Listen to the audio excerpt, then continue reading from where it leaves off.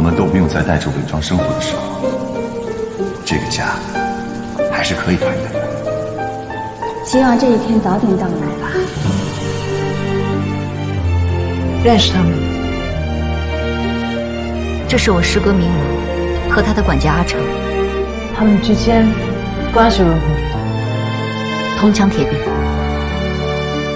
这两天你们俩都在忙什么呀？我还有事找你们呢。阿成啊，是时候跟你说一门亲事啦。知道了。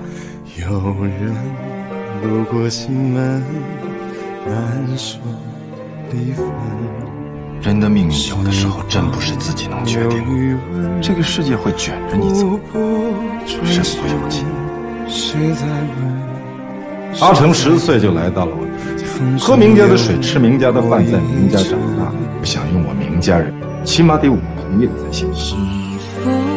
大姐，这是送给您的新年礼物。这幅画叫什么名字？无题家园。到底叫什么名字啊？我觉得应该叫家园。嗯，这不是大少爷的家园吗？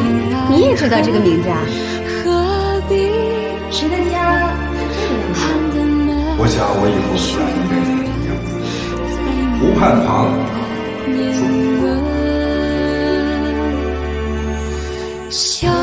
大少爷说了，以后要找画里这么个地方住着，你们都不去才好呢。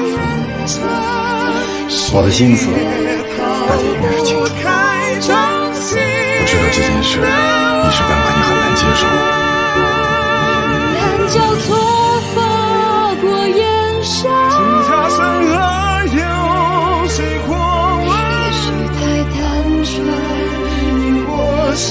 记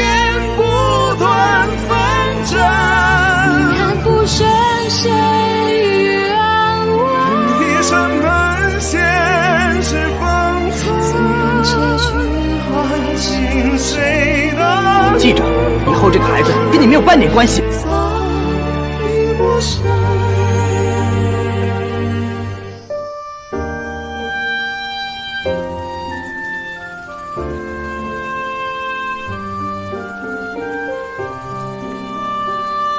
对不起，大姐。这些年，不是说忘就能忘的。宁老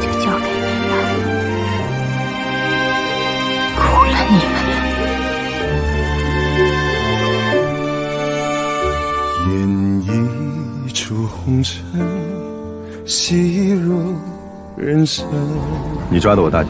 等待粉墨倾城，终身离分。阿成。人间纷繁。岁月无人，谁不肯？谁不问？留一树梨花针。我们有一个星期没有见面。我知道你这段时间工作忙，状态紧张。我给不了你想要的，听明白了吗？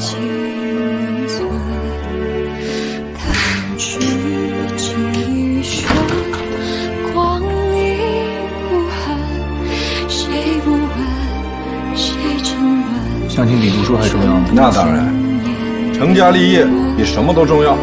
大哥，你为什么不成家？大哥还有太多的事要做，是吗？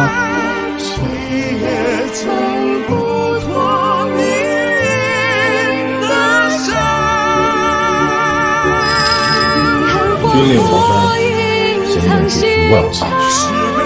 我们只有一个星期的时间。必须完成任务，我们没有选择。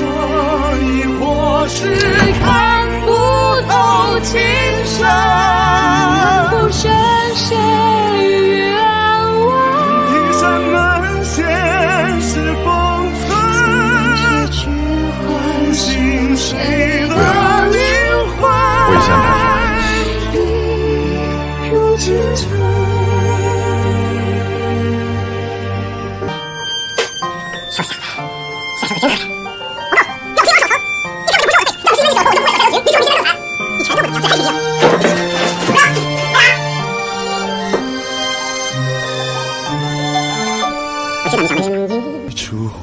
没有人对不起你。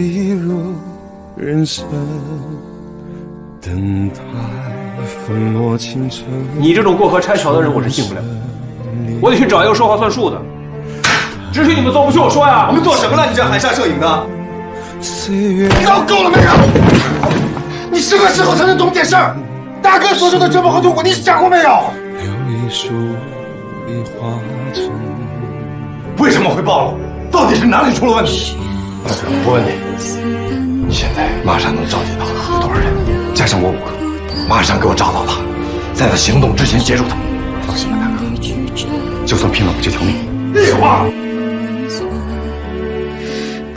必须活着，听到没有？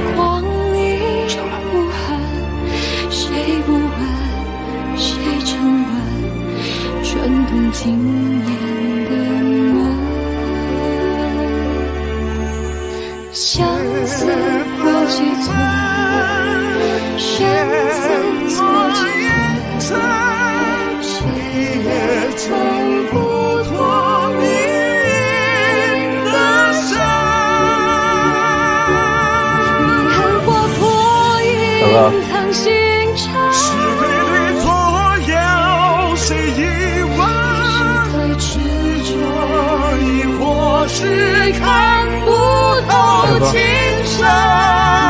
你想知道事实，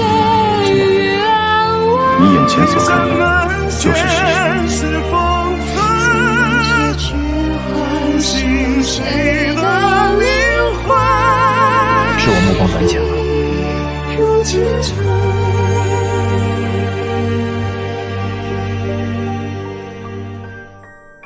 家人才是永远的。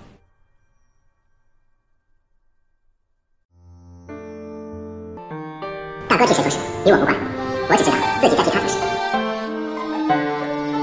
从今天起，遇事不许送客人，除非早已上次见。